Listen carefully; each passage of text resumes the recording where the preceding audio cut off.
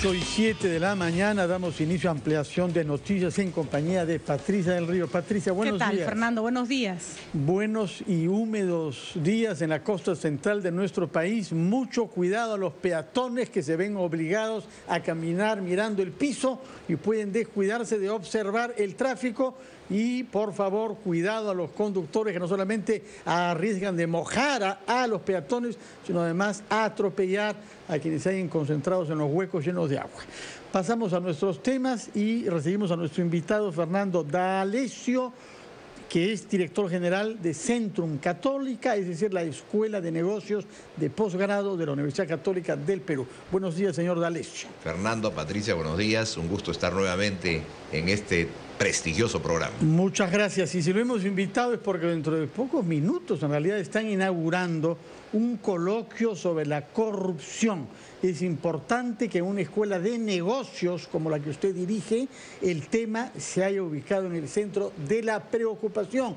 E intentan hacer una mirada multidisciplinaria porque hay un internacionalista, el ex canciller Maurtua, hay un abogado, Javier de Belaunde, una historiadora, Mac Eboy, y un empresario que actualmente es congresista en el señor Ola Echea. Cuéntenos, por favor, cómo se va a llevar a cabo y quiénes pueden asistir a este coloquio. Dentro de media hora aproximadamente estamos comenzando el coloquio en el Swiss Hotel y está abierto al público, pueden asistir todo el que se inscriba. Y la idea que hemos tenido es pues analizar esta problemática que posiblemente sea una de las peores que ha ocurrido en el Perú por lo menos en todos mis años de vida, que ya son 70. Y yo no había visto una cosa tan dramática como la que estamos viviendo hoy día. Realmente este efecto de la corrupción, eh, que siempre ha existido, porque la corrupción es tan antigua como la humanidad, pero que haya llegado a nuestros países a estos niveles de enquistarse pues en todas las partes del país, políticos, empresarios, hasta académicos, de alguna manera es una preocupación enorme. Y que no hayamos podido anticiparnos o prever que esto pudiera haber ocurrido, porque esto data de muchos años atrás. Estamos hablando pues de comienzos de la época de Belaúnde, del primer gobierno de Alan García. Entonces el tema fundamental es que tenemos que analizar el concepto de corrupción Corrupción no es solamente coima y robo, que también es corrupción, por cierto. Corrupción es un acto deshonesto o inmoral de una persona, especialmente con poder. Eso es la definición del diccionario de la Real Academia Española de la Lengua. Acto deshonesto o inmoral de alguna persona, especialmente con poder. Entonces esto nos lleva a meditar de que hemos sido siempre pues una sociedad permisiva. Mm. O sea, han pasado las cosas y, bueno, todos seguimos contentos, seguimos felices, el país sigue caminando y decimos, bueno, este es un bache más, pero este ha sido un bache pues enorme, que realmente remueve todos los cimientos de la sociedad. Y si no se hace una corrección definitivamente radical de este tema, vamos a... ¿Cuál es esa corrección? ¿Cómo la ve creo que hay que sancionar, hay que sancionar, pero eh, ejemplarmente, porque al final nadie fue. O sea, acá pasaron los miles de millones de dólares y de alguna manera nadie fue. Ahora, también tenemos que pensar en los elementos de control. Yo creo que en esto los elementos de control han jugado un rol preocupante, porque no han detectado a tiempo todas estas situaciones. Entonces vemos pues este, grupos que se han enquistado en el poder y que de alguna manera han migrado a otros grupos. Si analizamos los cuatro últimos gobiernos, podemos ver esto, ¿no? Lo que pasó pues en el, en el gobierno de Fujimori, definitivamente veíamos pues videos con fajos de, de dinero que recibía la gente. Después vemos el tema de estas empresas que donan para las campañas y que donan a todos los partidos, pero nadie dona pues gratis, no hay, no hay lonche gratis. De alguna manera ponen plata porque saben que la van a conseguir después de otra forma. Y realmente al final, ¿quién paga todo esto? Los peruanos.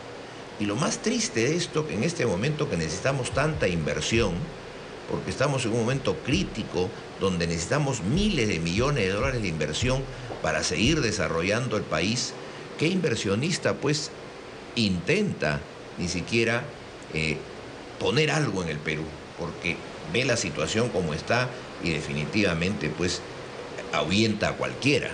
Y vemos todos los organismos, de alguna manera, ¿no? Inclusive pues estudios que se han hecho eh, contratados por esta empresa para que de alguna manera digan que todo el mundo sabe que las carreteras son buenas, todo el mundo sabe que en hay cosas buenas, pero definitivamente los costos que se pagan no pueden ser esos, ¿no? Hay una responsabilidad enorme del Estado y de un sistema que promueve la corrupción, pero, ay, no sé, los empresarios tienen su, su, culpa también, ¿no? Estamos acostumbrándonos a una clase más una especie de plutocracia corrupta dispuesta a conseguir dinero a cualquier costo y a ganar licitaciones a cualquier este costo, ¿no? Y las empresas brasileñas no son las únicas involucradas en esto, ¿no? Sin duda. Este... Ahora, el ser humano siempre ha sido ambicioso, ha sido greedy, como dicen los, los americanos. Codicioso, sí. Codicioso, le gusta el dinero, le gusta la riqueza, le gusta el poder. Pero yo creo que lo gane por buenos medios, ¿no? Como bien mencionaba Patricia hace unos momentos en la radio, que el, que invierte, trabaja y gana dinero, pues enhorabuena, pero que lo gane por los medios legales, honestos. Los conceptos de ética y legalidad se han, se han distorsionado pero, son temas y son conceptos que forman parte del currículo de estudio de los empresarios en la Escuela de Negocios. Usted está promoviendo esta magnífica iniciativa, pero de antes. No. no. Esto nos ha cogido un poco descuidados en la formación que se da a los empresarios. Esa es una muy buena observación. Siempre las escuelas de negocios que juegan un rol muy importante en esto, porque sin duda son las que ponen los, los mandos medios para arriba en el sistema laboral, no solo peruano, sino regional, han estado orientados siempre a los estudios de los factores duros, finanzas, marketing, operaciones, tecnología información, pero los factores blandos se han descuidado. Mm. Y ahí está el tema crítico, ética, negociación, saber pues comunicarse efectivamente, liderazgo, inteligencia emocional, estrategia, pensamiento crítico. Y regresamos a, la raíz de todo, que es la educación. Bueno, tenemos que hacer una pausa, son las 8 y 15 y retomamos nuestro diálogo con Fernando D'Alessio, director de Centrum, la Escuela de Negocios de la Universidad Católica.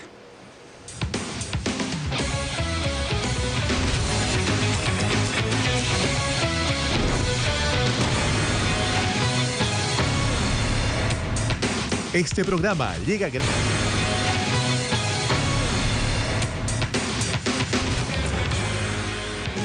usted reconocía que los cursos, que la formación, que los currículos que los empresarios siguen para diplomarse y tener luego estudios de posgrado no incluyen suficientemente temas relativos a la ética y a la corrupción. Pero sin embargo, usted nos dice haber desarrollado en Centrum una fórmula de la corrupción que nos permite prever más o menos en qué casos esto se vuelve inevitable. Los valores y la ética han sido parte ahora importante, es parte importante de nuestra estructura curricular. Y tratar de que los empresarios no sea pues la maximización de los beneficios como el fin último de la empresa, sino el compromiso social, la sostenibilidad. Ahora, dentro de estos estudios que hemos realizado y vamos a presentarlo hoy día, eh, hay varios estudiosos, entre ellos un señor Robert Klickhart, que menciona pues que para poder controlar la corrupción debemos reducir la concentración del poder. O sea, mientras mayor concentración haya en el poder, más posibilidades de corrupción. Es el poder corrompe, el poder absoluto corrompe absolutamente. En segundo lugar, hacer las cosas en secreto, lo que se llama la falta de transparencia, todo lo que se llama encubierto. Entonces, ese es otro gran factor que aumenta las posibilidades de corrupción. Y hay un factor que la reduciría, que son las personas y la responsabilidad que tengan las personas.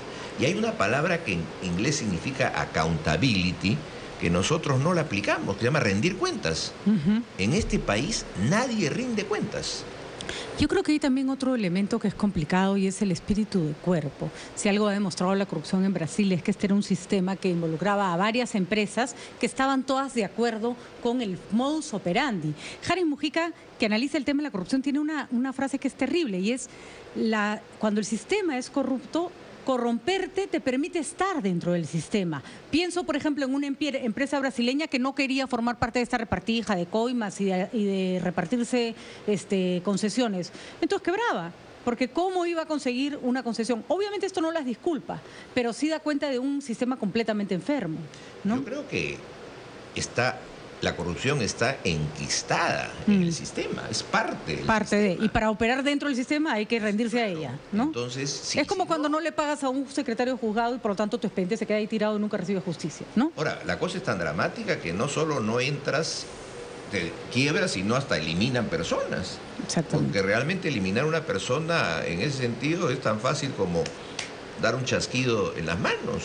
Y sin embargo, nos ha dicho usted que todo esto pasa en democracia con órganos de control del Estado perfectamente activos. Estamos ante la Contraloría y estamos ante la unidad de inteligencia financiera y estamos ante los, ante los dispositivos de los ministerios concernidos.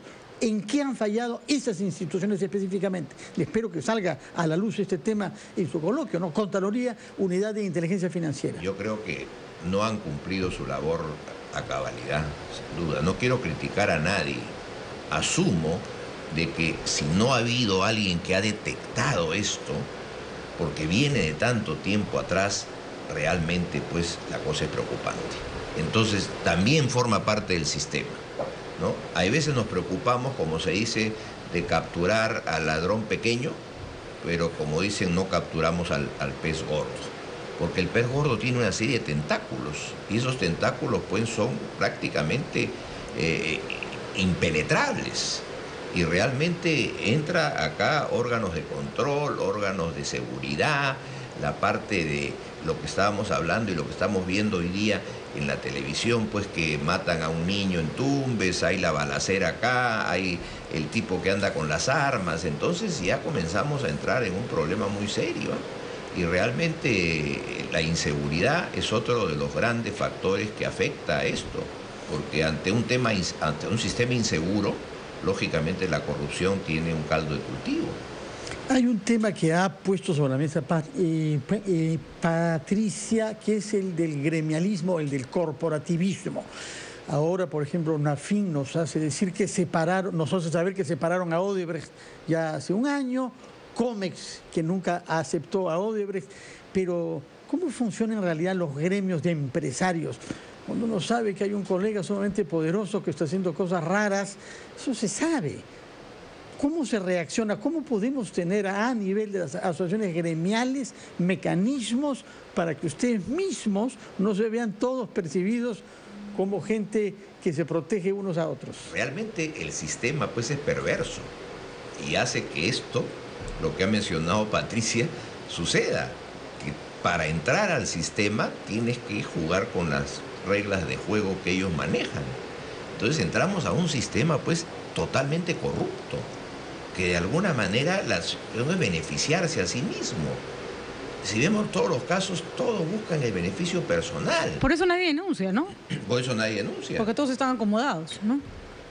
Ahora, yo, yo podría conocer, yo conozco casos de gente pues que no ha tenido ningunos recursos y ahora pues son este, millonarios, ¿no? Nadie, nadie se hace millonario de la noche a la mañana.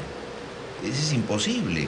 El que quiere hacer las cosas por medios buenos les toma 10, 15, 20 años de mm. trabajo para tener una buena situación eh, económica y su empresa sea saludable. Pero acá aparecen los nuevos ricos de la noche a la mañana realmente... Durante la noche, mientras duerme. Ahora, díganos, señor D'Alessio, si yo voy a este coloquio que ustedes organizan ahora, ¿cree usted que saldré con una imagen optimista en el sentido de que se está diseñando un camino de salida, que aprovechemos esta circunstancia para tener dispositivos nuevos y eficaces? ¿O nos vamos a quedar lamentándonos de nuestras desgracias? Yo creo que esta, esta crisis realmente es una oportunidad y tenemos que aprovecharla. ¿Cómo? Tenemos que cambiar los cimientos del país basado en las personas. Porque las personas son las corruptas y hacen que el sistema se corrompa.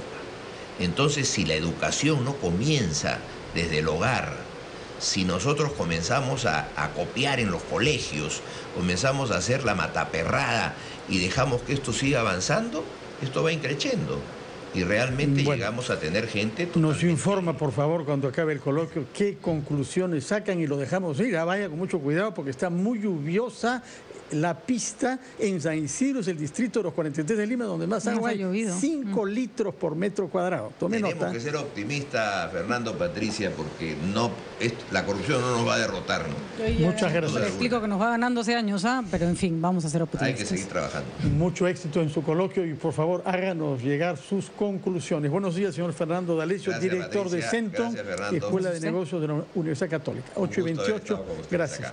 Hacemos una pausa y retomamos ampliación de noticias.